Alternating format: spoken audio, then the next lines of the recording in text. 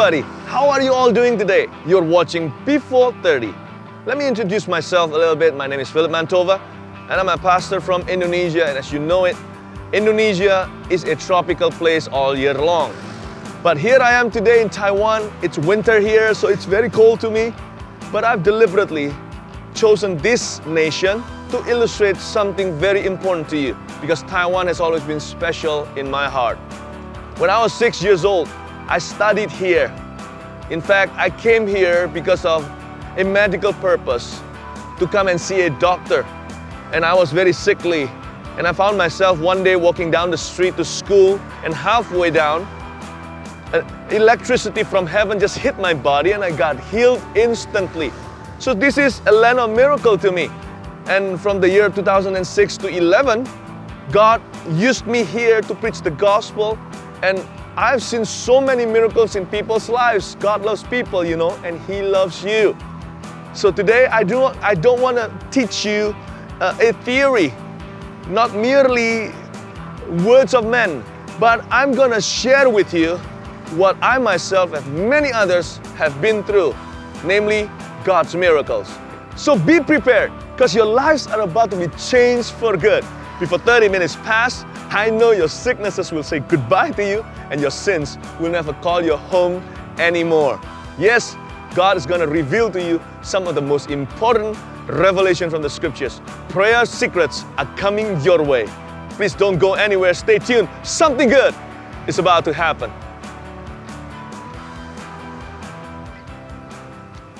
Sungguh hadiratmu Tuhan yang membuat hati kami damai. Ketika kami mendengar namamu ditinggikan, namamu dinyanyikan, hati kami bersorak memuliakan Engkau Tuhan.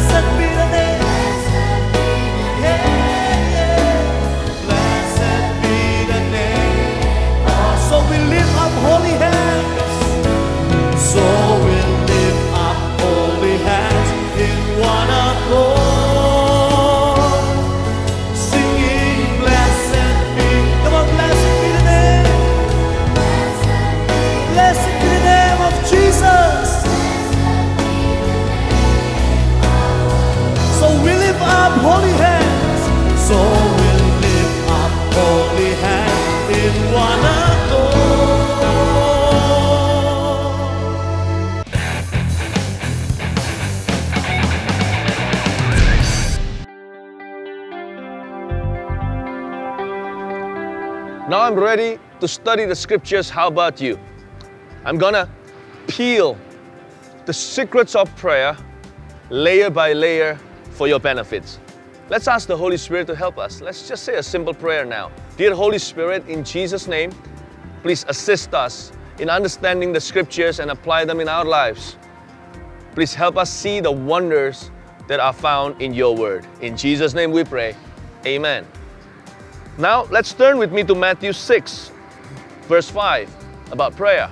Jesus teaching on prayer. Prayer secrets.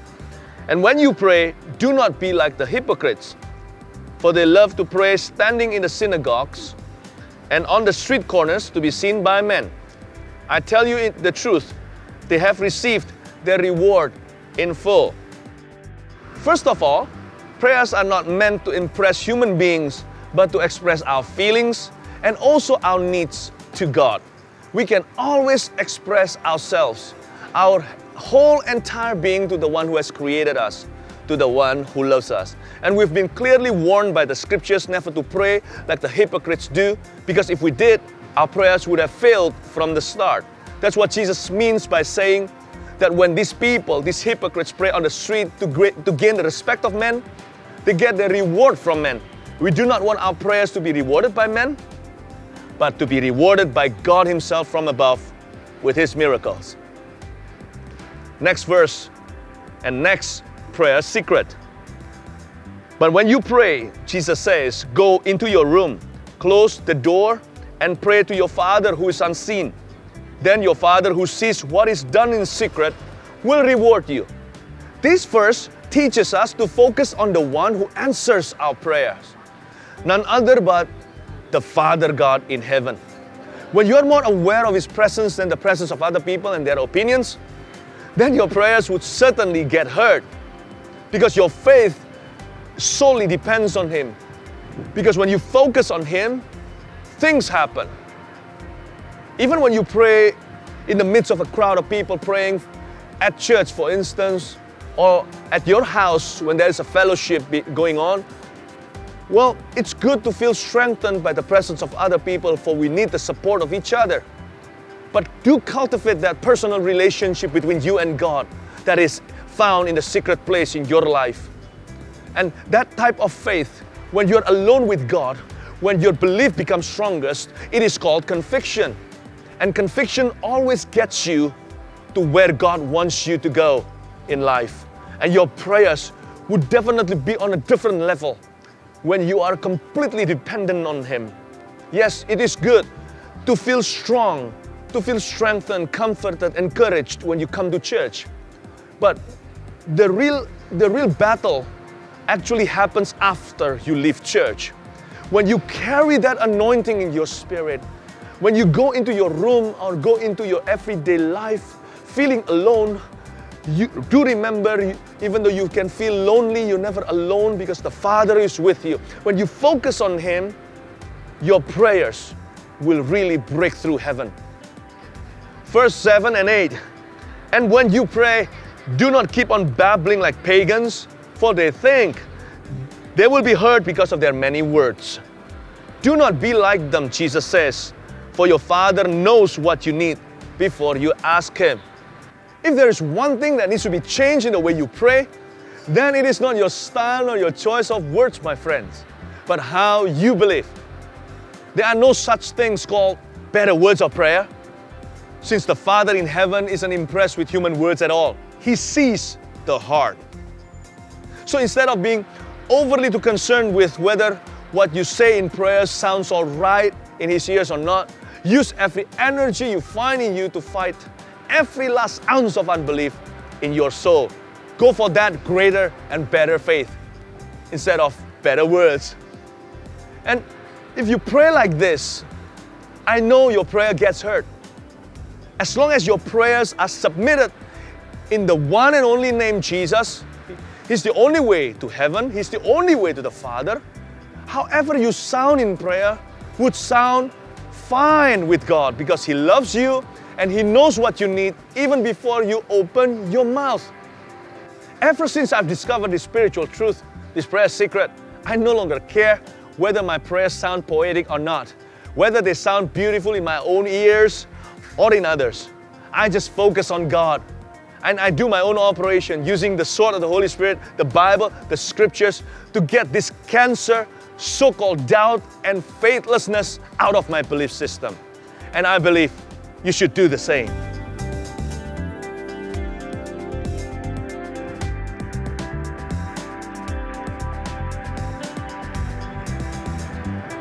Now, the next prayer secret is no secret to us all.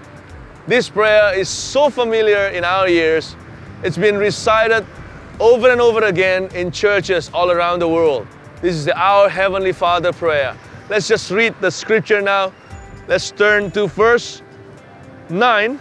This then is how you should pray, says Jesus. Our Father in heaven, hallowed be your name.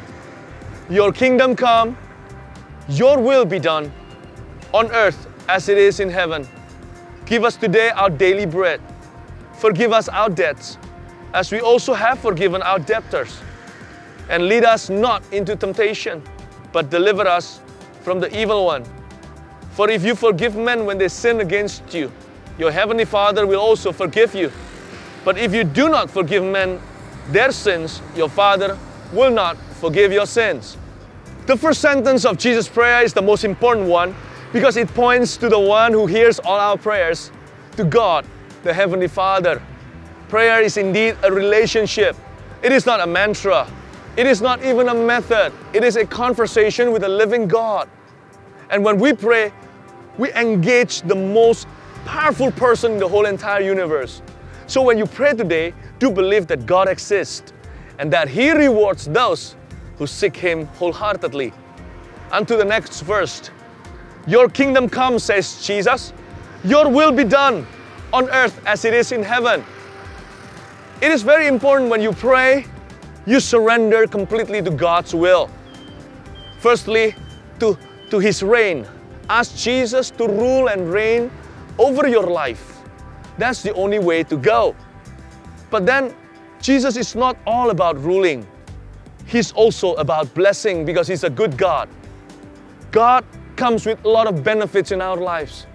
I remember, I recall a scripture that says, Blessed be the Lord, do not forget His goodness and all His benefits. He forgives our sins, He rescues our lives from the graves, He renews our youth like that of an eagle's. So I know when you surrender to Jesus, you could also claim all His promises. Do have the right motivation though. Do not try to manipulate God. Ask Him to reign in the first place. Ask Him to rule and say, Not my will, but yours be done. And trust your life completely to Him, for He has all the best intention for you.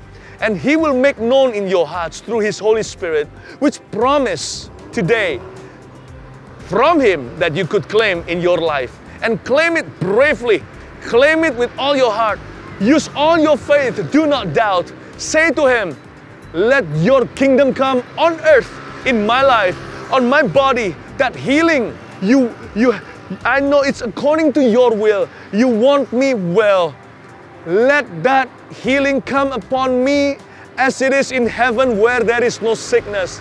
Let that freedom from sin. I know that is God's perfect will for us to rid our lives of sin once and for all. Lord, I can break free from my addictions. Come unto me, that spirit of freedom, that freedom completely. When the Bible says the Son of Man, when He sets you free, you are free indeed. I claim that promise over my addiction to alcohol, over to my addiction to nicotine, to, to cigarettes, to drugs, to pornography. I claim this promise. This is power in my soul. This is power in my body. Let it be on me as it is in heaven. And when you say that with all your heart, He will release all His power to you. Verse 12 and 13 Forgive us our debts as we also have forgiven our debtors. And lead us not into temptation, but deliver us from the evil one.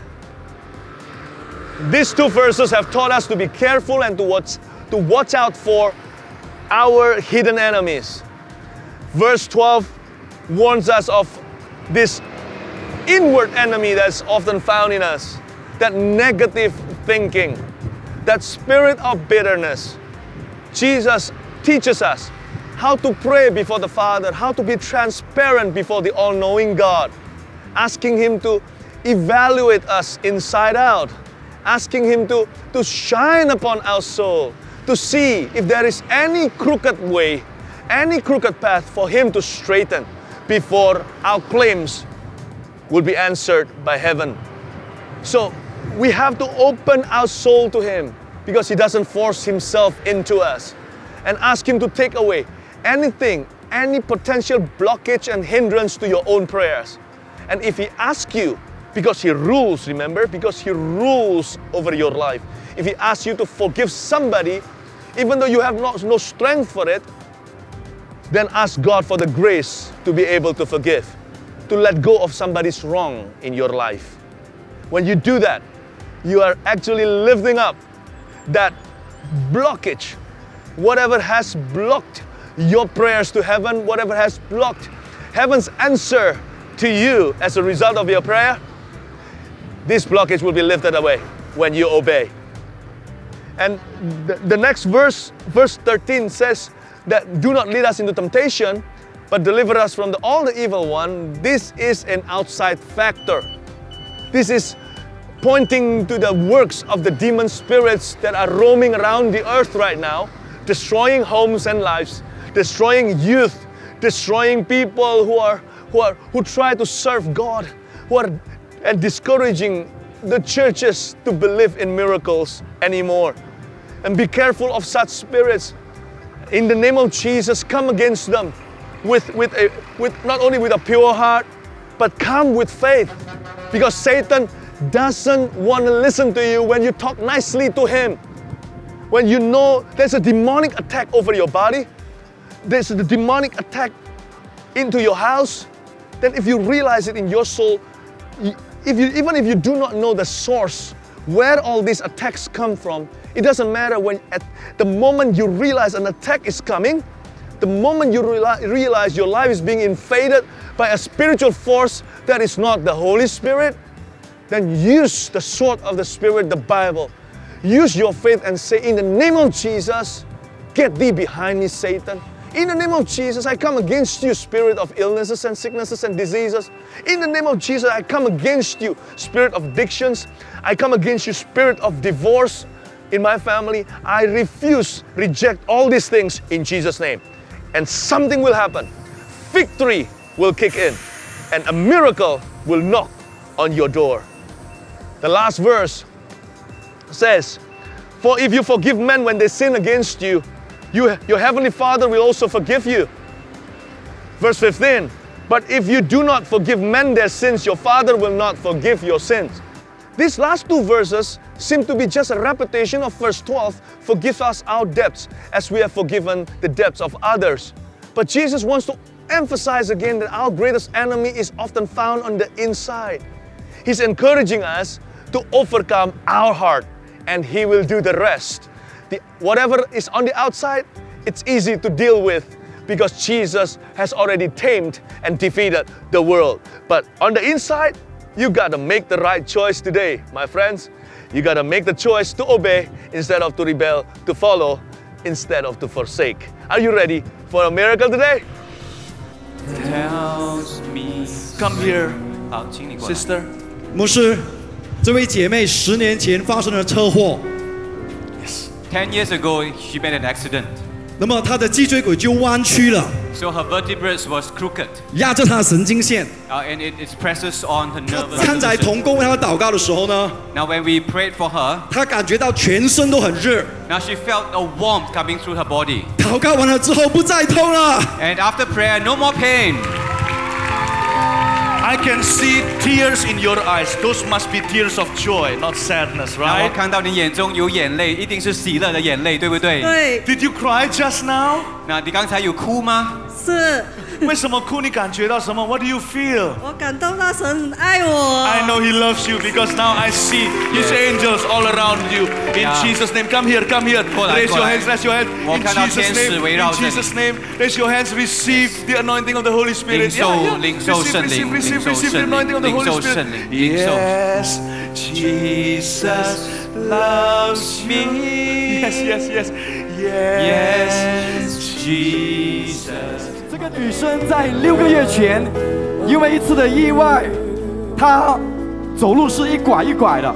Now this young girl, six months ago, because of an accident, she was unable to walk properly after that. 那么医生检验过后呢，她的脊椎骨是 S 字形的。Now, now the, after the diagnosis, they found out that her backbone is in an S shape. 刚才祷告之后，她感觉到有东西进入到她背部里面。Now, as we were praying for her, she felt that there was something entering 现在.她走路可以好像是正常人的样子。Now she was able to walk like a normal person. You know, I envy you. 你知道我很羡慕你，You can walk properly. I can't. 你现在能够正常的走，我却没办法走。So you will know that this mighty strength doesn't come from a human being. 所以你知道呢，这个能力不是一个人所发出来的。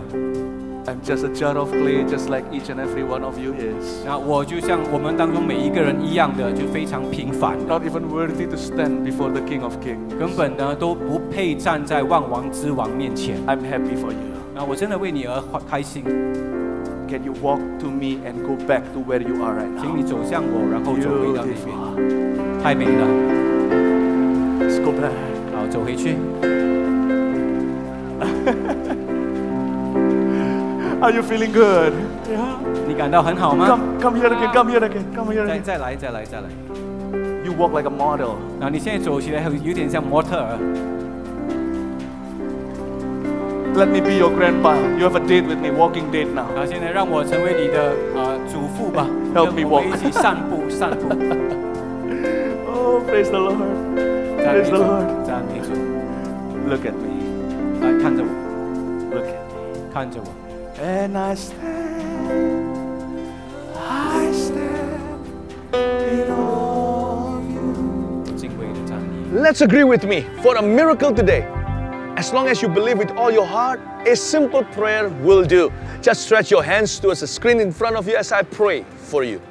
Father in heaven, I commit every one of our viewers today to you. I speak blessings, your blessings into their lives. Father, those who are sick right now, touch them where they hurt the most. In Jesus' name, I speak your miracles into their lives. And those who are addicted, Lord, those who are addicted to alcohol, drugs, pornography, and all the other wrong stuff, in the name of Jesus, I speak freedom and I set them free by faith in Jesus' name. And God has just shown me how these substances of addictions that once bound your life so much, they are being trashed by the Holy Spirit forever from your life. In the name of Jesus, as far as the east is from the west, God has brought you so much apart, so far apart from these things that once robbed your life. In Jesus' name, receive your freedom. From now on, you can never enjoy those things anymore because the anointing of the Holy Spirit has just been placed upon your lives and upon your bodies. In Jesus' name, we pray. Amen. Every time I host this program, I've learned something new. God has shown me many beautiful things, even supernaturally. And God has just shown me that many of you are being set free. Congratulations. And even though you couldn't believe it, I know when you look back today, or someday, you'll look back to today that God has set you free today. And God has given you a new life. And until the next episode, I'll keep praying for you. Please keep watching our program because this program will change more lives in the days to come. God bless you.